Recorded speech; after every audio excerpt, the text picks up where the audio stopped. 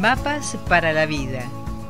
Virginia Gawel, licenciada en psicología, directora del Centro Transpersonal de Buenos Aires, te brinda herramientas para tu desarrollo cotidiano. Y aquí la tenemos como es habitual a Virginia Gawel. Buen día, Virginia. Ya tema anticipado, ¿eh? Buen día, Rosita. Empezamos un poquito más tarde a propósito para que las personas experimenten la frustración de que no empezaba la columna.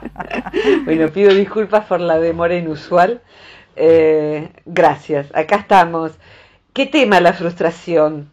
Uh el, está pedido de Virginia Gawel la, columna hoy, así como siempre tomamos temas de los escuchantes. Les cuento a nuestros escuchantes que ayer debatíamos en la mesa familiar eh, si a lo mejor era conveniente tomar este tema eh, en particular, porque ¿qué hacemos con la frustración?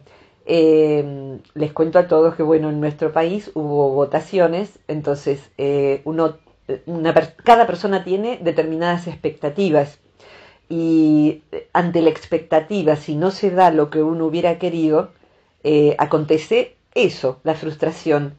Entonces, la frustración es algo que se puede trabajar. Así que, Rod, ¿te parece que vayamos por ese lado? Pero por supuesto, Virginia. Pero gracias. Más, es más, mira, te diré que ni siquiera vamos a hacer un corte hoy. Ah, bueno, perfecto. Dale, le damos derecho entonces. Le damos eh, derechito. Y 45 en este momento. Dale, ¿eh? buenísimo. Entonces voy a, voy a pedir ayuda de, de ustedes eh, como equipo con, con preguntas.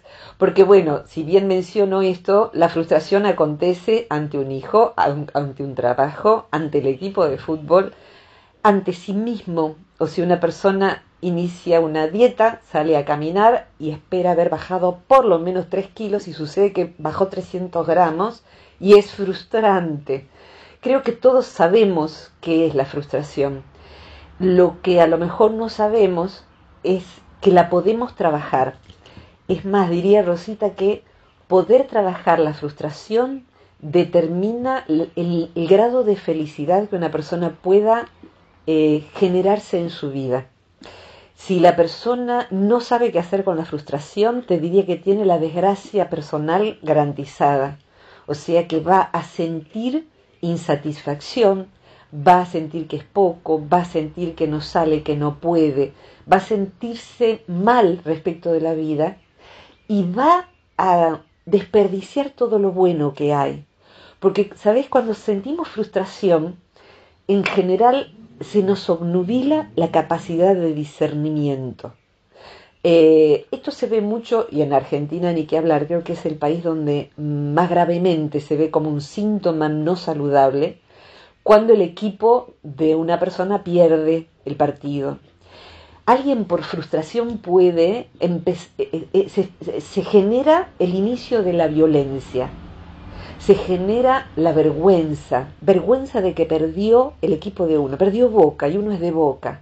Entonces todos los de River, pongamos, o viceversa, van a, eh, en nuestro país decimos cargar, van a decir cosas ofensivas y burlescas hacia los que son del equipo que ha perdido.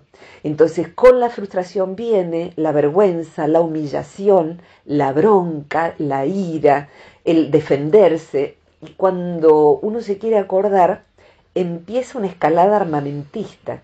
O sea que, bueno, las, las, los opuestos, los frustrados y los ganadores, se matan entre sí.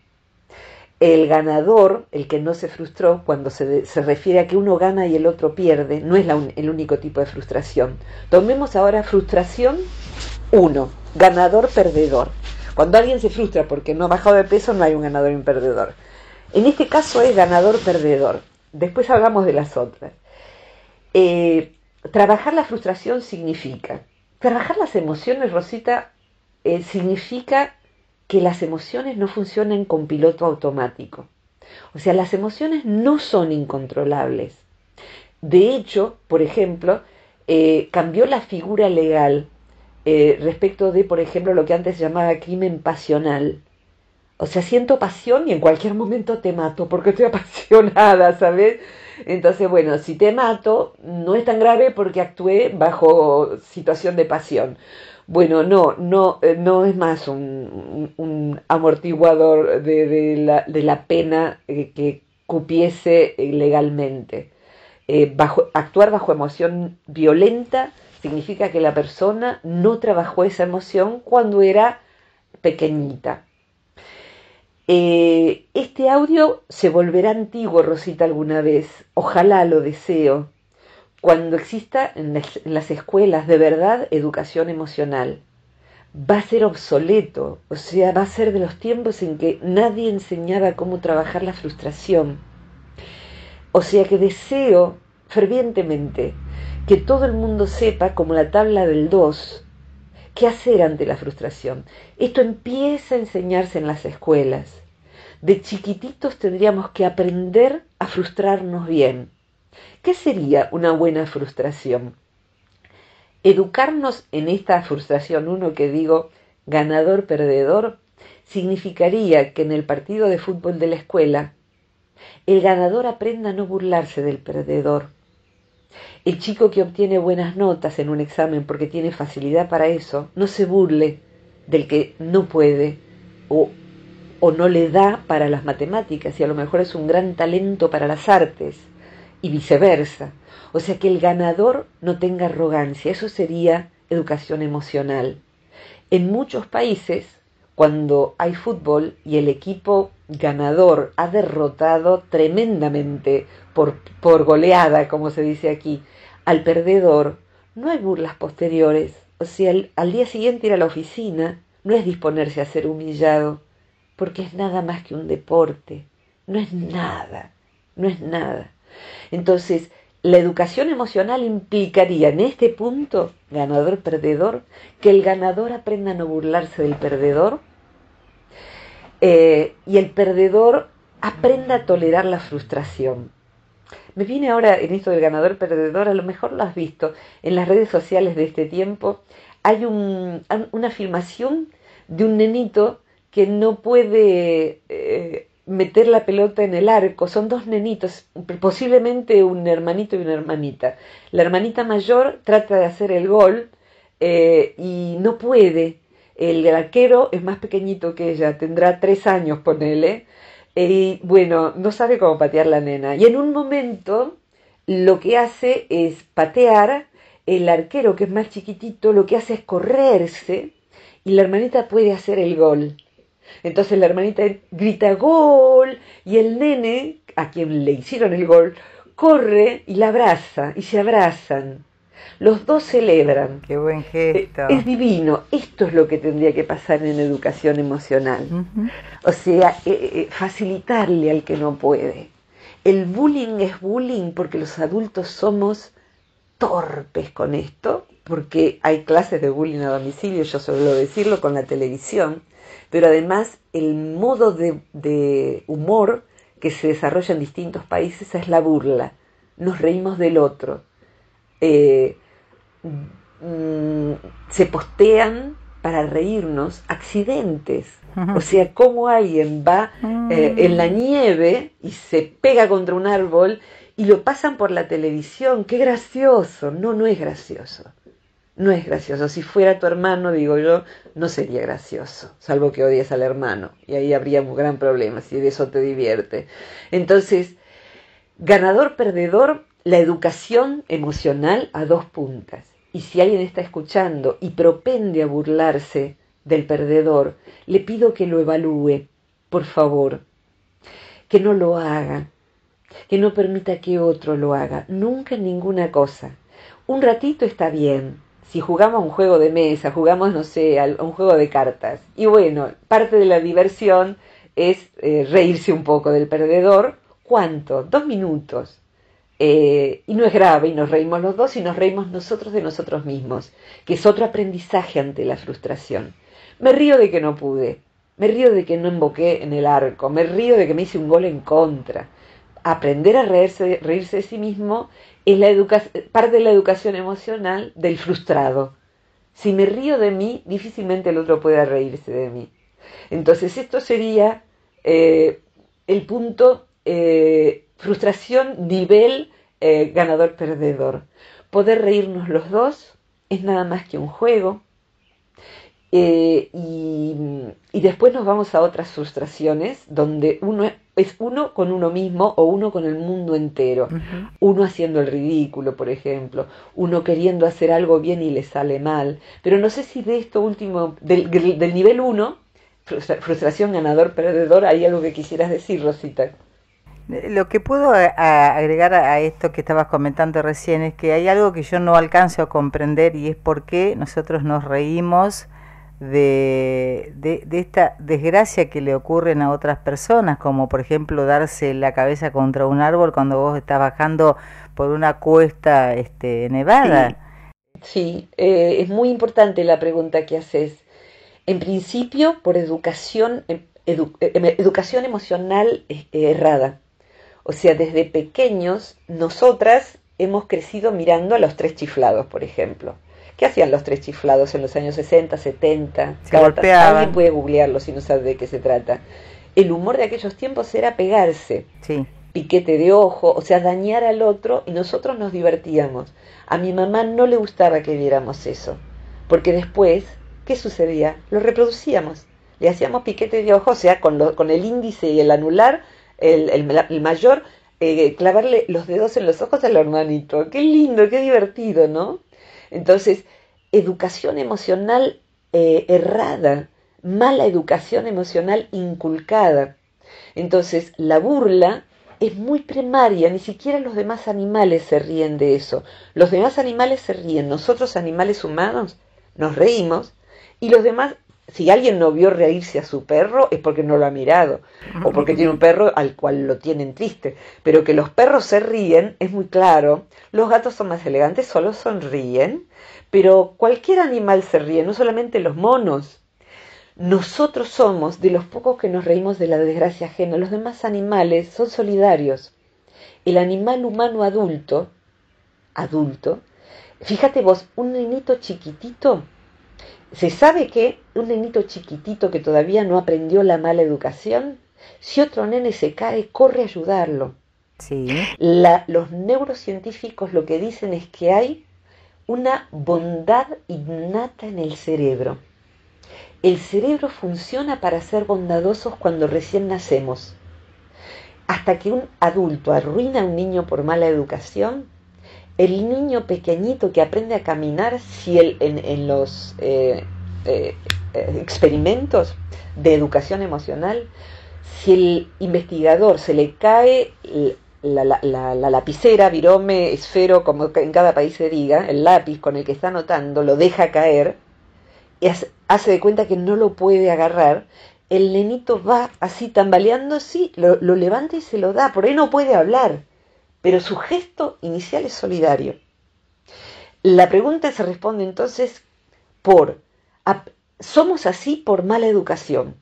La educación, ¿para qué nos educa la televisión, los medios, las redes, toda esta porquería? Y la escuela y nosotros los adultos, para ser sádicos. Tenemos un costado sádico. ¿Sádico qué significa? ¿Qué es sádico? Disfrutar del dolor. Y esto es gravísimo, porque se, entrena el cerebro para disfrutar del dolor ajeno en diversos grados. Por eso los chicos disfrutan del bullying. El bullying, ¿por qué se hace bullying? Porque da placer. ¿Por qué da placer? Porque todo el sistema, incluida la familia, nos ha enseñado a eso. Los papás que humillan a los chicos contando que el nene de 5 se hizo encima cuando la maestra lo retó. Uh, vino con los pantalones. Mm, ¿Qué pasó? ¿Qué pasó el viernes cuando la maestra te retó?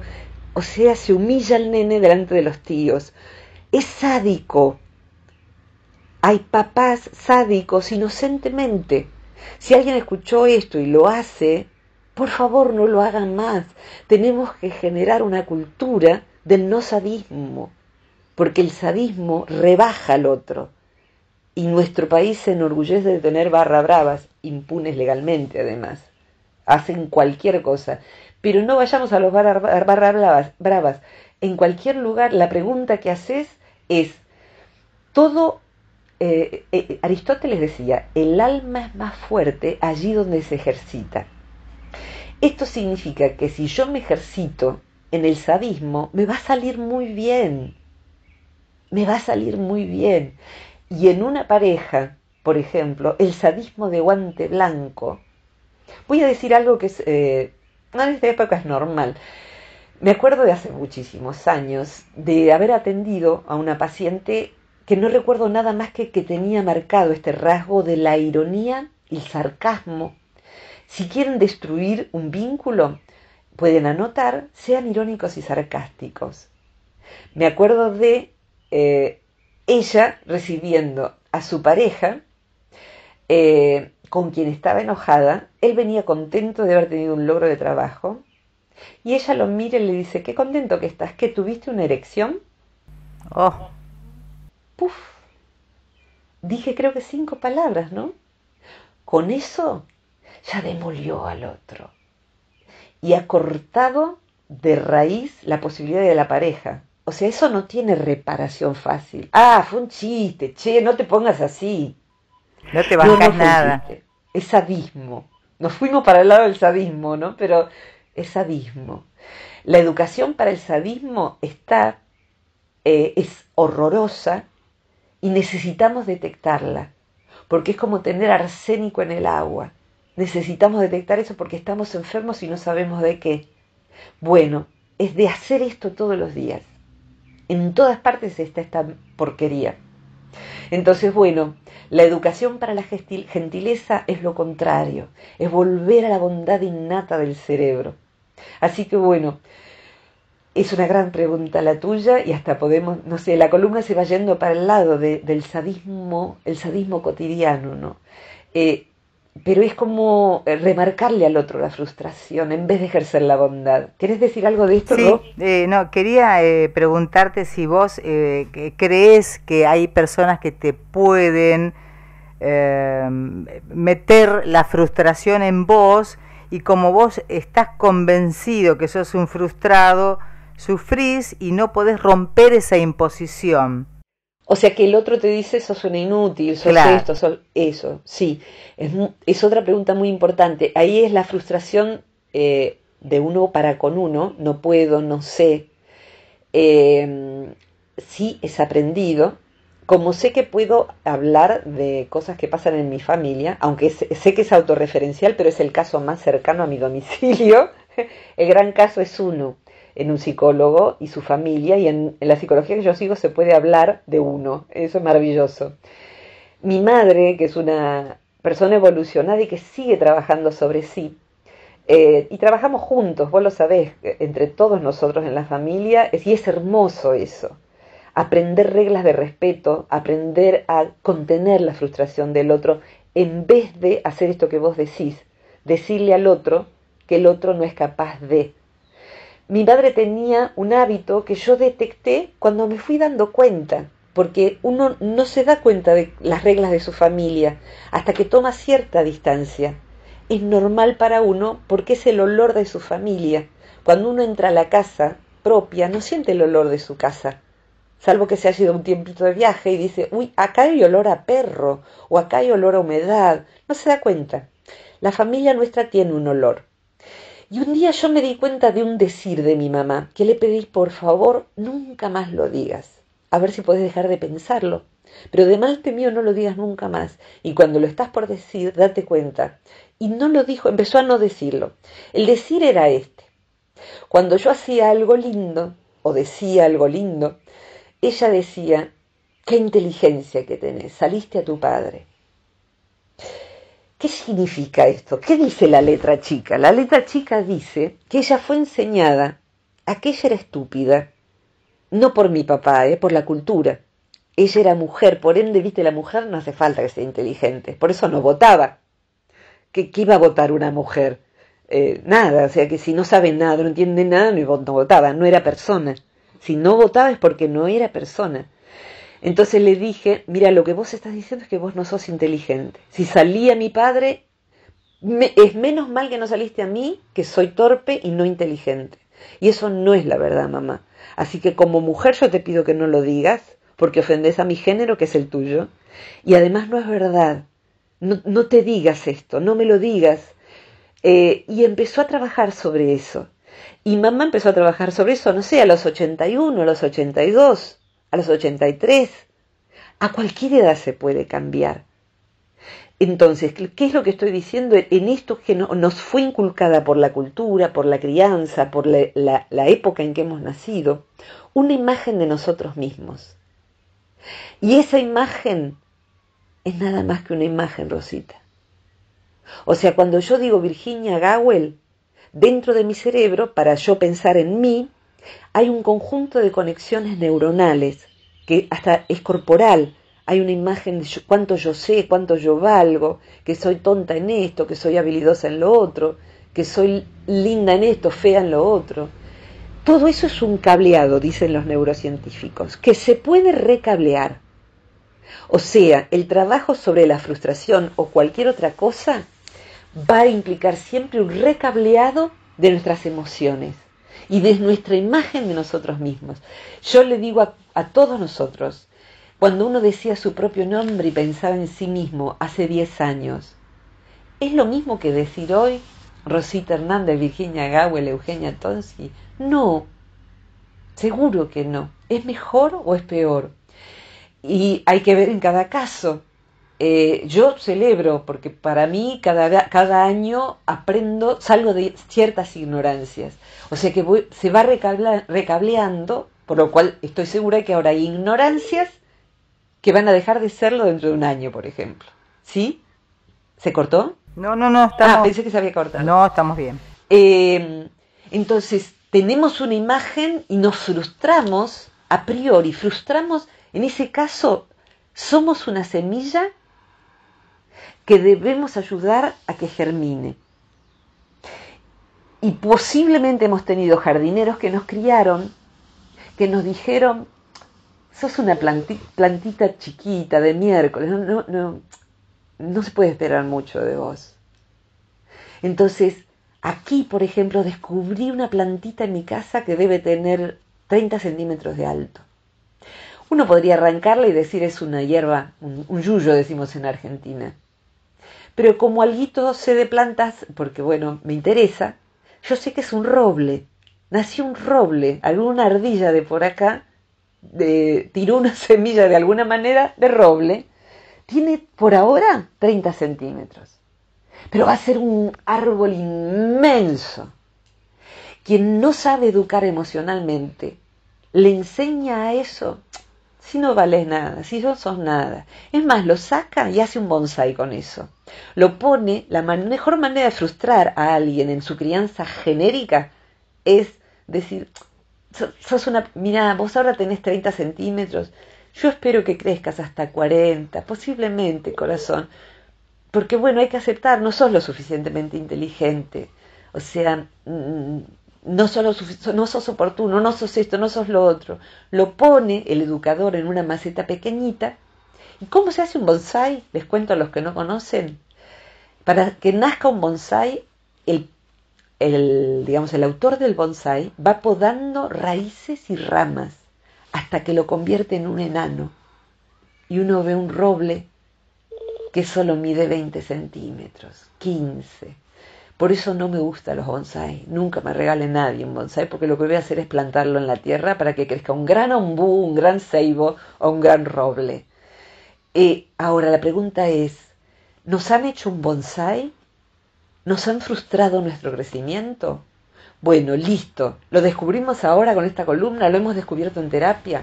Lo que uno tiene que hacer es ahora ser autor de uno mismo. Uno mismo tiene que sacarse de esa maceta ponerse en tierra fértil, dejar que, impedir que cualquier eh, fabricador de bonsáis nos diga cuánto podemos o no podemos medir. No te permito. Que, no te autorizo a que definas quién soy. Eso es una, una decisión interna. Nos trasladamos a tierra fértil y, e impedimos que nadie nos pode, ni raíces ni ramas. Y si crecen lento, hay que aprender a esperar, a esperarnos a nosotros mismos, a tenernos paciencia. Son dos cosas en la frustración respecto de uno mismo. La que nos impusieron de afuera, no permitirla nunca más. Pero para eso hay que descubrir, ah caramba, pero si yo soy un roble. Ah caramba, no sé quién soy, pero estoy en un tarrito de porquería. Yo no voy a estar acá, yo me mudo. Yo me pongo en tierra grande y veo a ver qué sale de mí. Entonces uno empieza a regarse, a cultivarse, a darse espacio, a cultivarse. Lo usamos para la palabra cultura, que es eso. Voy a tomar un curso, voy a aprender algo, voy a tocar un instrumento, voy a una universidad de oyente o empiezo una carrera, no importa qué edad que tengo. Yo no sé de lo que soy capaz de dar si me educo. Y empiezo a ver que tengo para poder, Rosita, eh, elaborar la frustración para con uno mismo. Por ejemplo, seguir una carrera.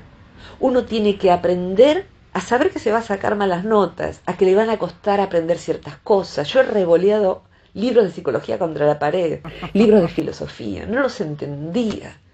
Pero la, uno de los antídotos de la frustración, Rosita, indispensable a ser desarrollada y poco, poco cultivada en nuestra cultura occidental, es la, la voluntad. La voluntad es, no pude, pues haré lo posible para poder de vuelta. Voy a volver a dar el examen. No pude ahora levantar una pesa de un kilo, pues haré gimnasia hasta poderla levantar la de 10. No pude caminar media hora, pues caminaré 10 minutos hasta que sean 12, hasta que sean 20, hasta que sea media hora y una hora. Pero ahí está el factor voluntad, que al sistema no le conviene que tengamos voluntad no podés, pues te daremos, te venderemos la, la caminadora. Y con esto vas a sacar músculo, bajar de peso y volverte 10 años más joven. Llame ya. 50% de descuentos se llaman ya. Llame ya. Ya vas a bajar de peso, ya vas a rejuvenecer, ya.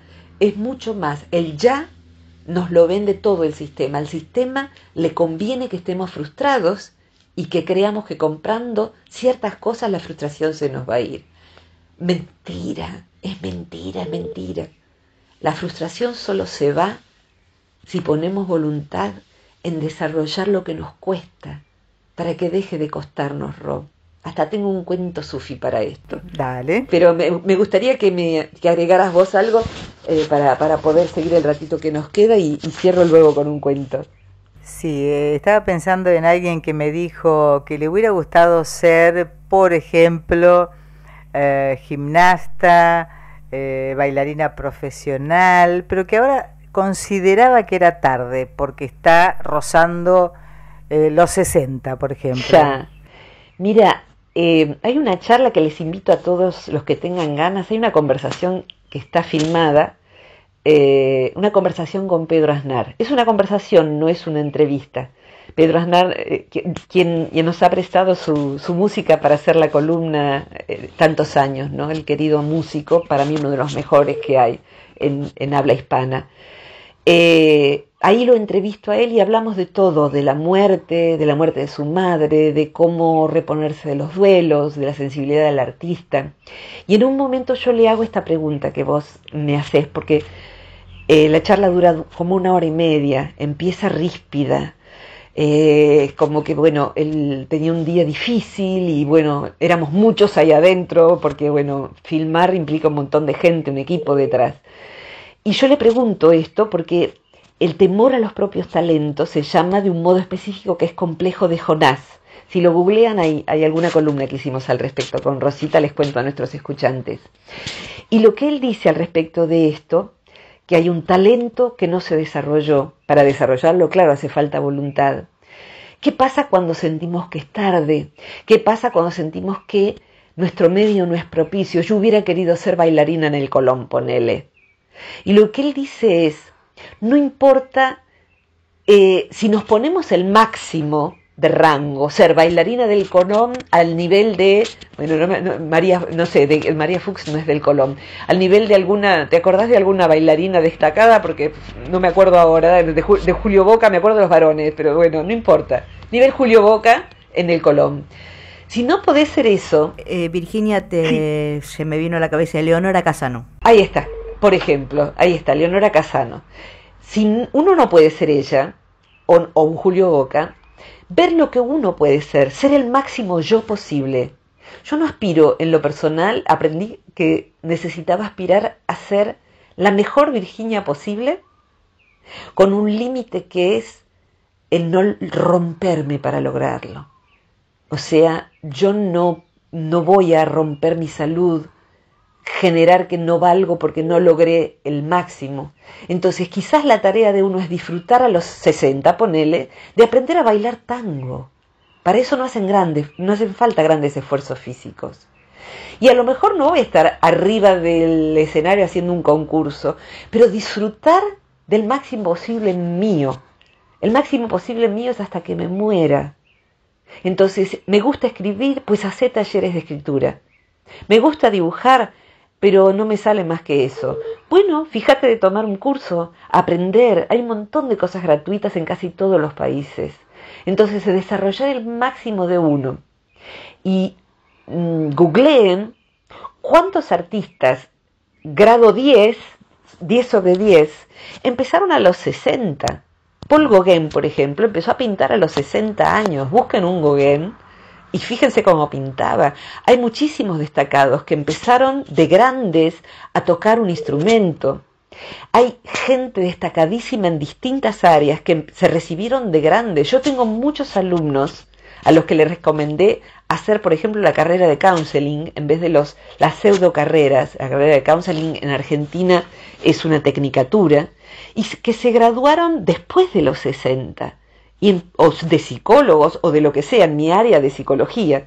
Entonces, y empezaron a atender consultorio después de los 60, de los 70. Tengo alumnos online que tienen más de 80. Entonces, decir, bueno, yo llegué hasta acá. ¿Hasta acá qué? ¿Cuánto? Claro, porque intenté, pero no me sale. Bueno, ahí viene el cuento Sufi, Rosita que, creo haberlo contado alguna vez, pero viene, viene a cuento hoy. Distintas historias de distintas tradiciones ponderan la disciplina e instan a que lo más difícil es el principio. Empezar a tocar un instrumento es una porquería. Yo, pero yo tenía nueve años y empecé a, estudiar guitarra.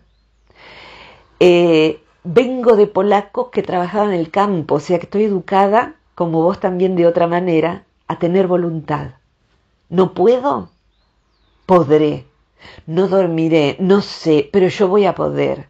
Queda lejos la universidad, viajaré seis horas al día, pero yo voy a ser psicóloga, aunque me corten la cabeza. Va a ir rodando la cabeza, va a ir dar el examen mi cabeza, rodando hasta la universidad y volverá a, a, a mi pueblo. Y así era, era a fuerza de voluntad. Entonces yo tocaba la guitarra y me lastimaba los deditos. Entonces me ponía lo que en nuestro país se llama curitas, banditas protectoras de, esas que curan heridas. Entonces me llenaba los dedos y seguía tocando con las curitas, pero no iba a dejar de tocar porque tuviera los dedos lastimados. Creo que esa nena de nueve años marcó todo lo demás que hice, inclusive me equivocado y he errado con un sentido de voluntad, o sea, de seguir con una pareja que no funcionaba y que no correspondía, pero le puse toda la voluntad. Entonces, bueno, aunque sea para lo equivocado, pero ejercer la voluntad. La voluntad es volere, querer. ¿Qué querés? Hacelo. Te va a salir mal, te va a costar al principio. Aprender un idioma es una porquería, porque hay que aprender vocabulario, pronunciación, Escribí en los eh, cerámicos de tu cocina con un marcador el nuevo vocabulario. Ponele toda la energía, aquello que amás, porque vas a ser feliz con eso. Cuando empezamos a lograrlo, esa felicidad del logro es divina. Es una droga endógena que segrega el cerebro, que es igual a la morfina, lo que toman los adictos, y nos empezamos a volver adictos al logro sano a que ahora pude un poquito más, a que pude armar una oración, a que pude sacar una nueva canción con el instrumento. Eso, de eso habla Pedro en, ese, en esa entrevista, en esa conversación. Y el cuento dice, habla de el que no quiere ponerle voluntad. Eh, eh, es un cuento sufi, eh, en el, ubiquémonos en el oriente, con un turbante persia, más o menos, y el personaje se llama Nasruddin. Nasruddin, según el cuento, es un tonto, un sabio, o sea que es un, un personaje eh, popular. Y hay muchísimos cuentos de Nasruddin. Y Nasruddin en este caso es un tonto, es un tonto. Eh, valdría para todo. Entonces, eh, ve un cartel que dice que hay clases de flauta. Imaginemos la flauta oriental, que, es muy compleja, tiene muchísimas, eh, muchísimos agujeros para tocar, pero aún una flauta pequeña es compleja y hay que aprender. Entonces, eh, dice, ay, quiero aprender a tocar flauta. Siempre quise aprender a tocar flauta. Voy a ir. Entonces va con el maestro y le pregunta lo primero que es el costo. Entonces le dice, mire, usted tendría que practicar durante la semana y tendría que eh, aprender, eh, la primera clase es más larga, así que la primera clase sale cuatro rupias. Las siguientes clases, la desde la segunda clase en adelante, dos rupias. Entonces Nasrudin le dice, ¿puedo empezar por la segunda? ¿Puedo empezar por la segunda? Entonces, eso. Hay que aprender a no poder. Hay que aprender a no llegar hasta lo que uno hubiera querido. Hay que aprender a no tener. A no tener se aprende. El mercado, el sistema, lo que quiere es que nos frustremos y nos embarguemos y saquemos créditos y gastemos en tarjeta para tener eso. Hay que aprender a querer, tener y no tener. No estoy hablando de lo básico, la comida, la ropa. No, es eso tentador en la vidriera. Y hay que aprender a sostener la voluntad, la voluntad, y aprender a frustrarse y no poder. Eh, no se puede em, empezar por la segunda clase. No se puede. Rosita, ¿estás ahí? Estoy acá todavía, eh, bastante, por, cierto, este, asombrada por, por, todo esto, ¿no? De la frustración y del aprender a, a frustrarse. Y te escuché atentamente porque creo este, que todo esto que vos decís es una, una verdad abierta y, y, que todo el mundo debiera entender. Sí, tendríamos otra cultura, volveríamos a una cultura del trabajo, a una cultura de la cultura. Sí. Porque cultivarse da trabajo. Mira, redondearía, me vino, eh, creo que esto nunca lo conté en nuestras columnas, redondearía con un, en cuanto a la mala educación emocional, eh, los buenos educadores enseñan al niño a frustrarse, a no poder dividir eh, y enseñarle a que pueda, no poder leer y enseñarle a que va a poder. Entonces estimular, estimular a que sostenga la voluntad, a que practique, practique, practique. Eh, de hecho, fíjate, va, va, a ser espantoso esto que voy a decir, un experto se define hoy a algo que tiene 10.000 horas de práctica en determinada cosa. Vos tenés 10.000 horas de radio, sos experta en lo que haces. Yo tengo 10.000 horas de escuchar, soy experta en escuchar y en, tratar de ayudar a, solucionar problemas y hacerse problemas nuevos, por ejemplo. eh, y un experto en meditación meditó 10.000 horas y no podía. La historia esta es muy corta. Viajaba yo, eh, yo vivía cerca del mercado del abasto en, en Almagro, en Buenos Aires, y estaba yo viajando de pie, parada en un colectivo de Buenos Aires, y en un asiento de, un, de uno, que cabía una sola persona, viajaba una señora con su niño. Yo recuerdo, el niño tendría siete años más o menos. Con una aguda observación vio, que viajábamos apretados, ella era pesado, le daba cosa estar, vergüencita estar arriba de su mamá sentado a UPA porque ella, ella era grande. Y ve por la ventanilla del colectivo y hace esta gran pregunta. Mamá, ¿por qué nosotros tenemos que viajar apretados? Y hay un montón de gente que viaja sola en el auto y podría viajar otras personas más porque va esa persona sola en el auto, el automóvil. Y la madre le dice esta respuesta. Ah, porque bueno, esa persona, mira, vos ahora tendrías que, viste que estás, bueno, vos ahora estás en segundo grado de la primaria, después vas a terminar la primaria, vas a hacer la secundaria, vas a estudiar mucho, vas a aprender un montón de cosas. Y después de eso, ya, le había armado la vida, vas a ir a la universidad. Y a lo mejor vas a estudiar para médico, para abogado, para contador, vas a estudiar mucho y vas a aprender un montón de cosas y luego vas a conseguir un trabajo y vas a ganar mucho dinero y vas a poder comprarte tu propio auto y vas a poder viajar como ese señor, esa señora, vas a tener tu propio auto y vas a poder viajar sin andar apretado como nosotros ahora. El nene escuchó todo eso Hubo un silencio y luego el nene dijo, prefiero viajar en colectivo. Chachán. Colectivo, para los que escuchen en otros lugares, es el bus, la buseta, el ómnibus, la micro en Chile.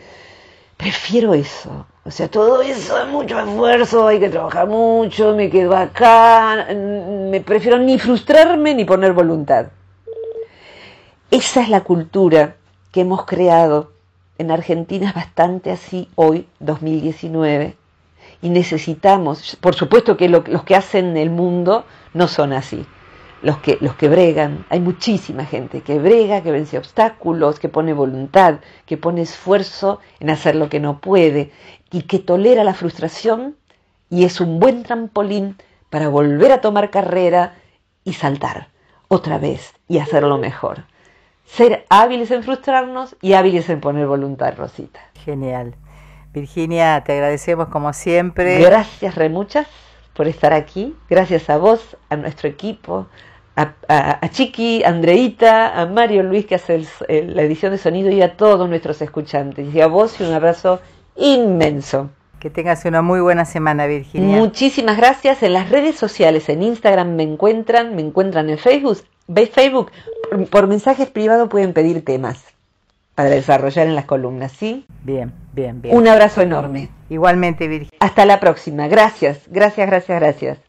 Virginia Gawel, licenciada en psicología, hoy hablando acerca de qué hacer con la frustración. Y si alguien quiere postular algún tema de cualquier lugar del planeta que escuchen, podrán comunicarse a través del WhatsApp.